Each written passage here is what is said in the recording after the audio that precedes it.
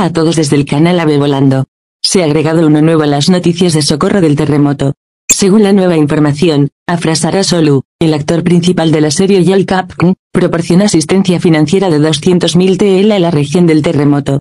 El exitoso actor proporciona asistencia financiera de 200.000 liras en primer lugar para satisfacer necesidades urgentes.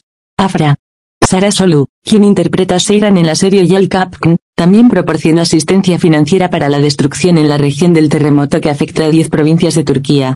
La bella actriz había estado siguiendo el desastre en la región con gran tristeza y lágrimas durante días. Sara Solu, de 25 años, inicialmente decidió proporcionar asistencia financiera para curar las heridas. En el área del terremoto, la bella actriz donó 200.000 TL a la asociación ABAP fundada por Aluk Levent. Los nombres más famosos en Turquía continúan movilizándose para ayudar y recolectar ayuda en la región del terremoto. A medida que las buenas noticias continúen llegando, las compartiré con ustedes.